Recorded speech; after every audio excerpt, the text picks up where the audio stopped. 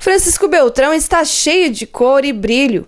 O município ganhou uma iluminação especial para este fim de ano. Esses visitantes ficaram admirados com a beleza da decoração. Tudo, olha, esplendoroso, né? Muito bom. Vieram dar uma passeada e aproveitaram para ver a decoração hoje. É, aproveitamos, né? Dar uma olhada, que todo ano a gente vem, está sempre muito bonito.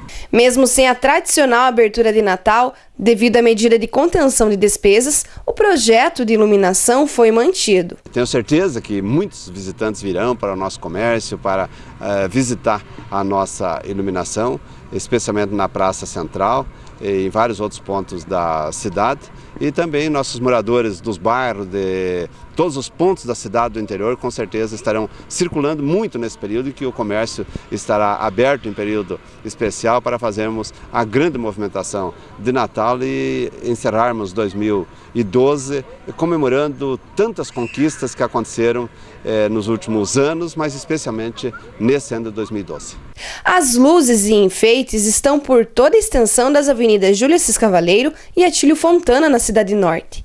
A Torre da Concatedral, no centro da cidade, é um dos destaques, além do presépio animado que chamou a atenção da filha de seu Ademir. Esse clima de verão aí convida bastante né, o pessoal a sair dar uma volta com a família. Né? E a baixinha, o que achou do presépio?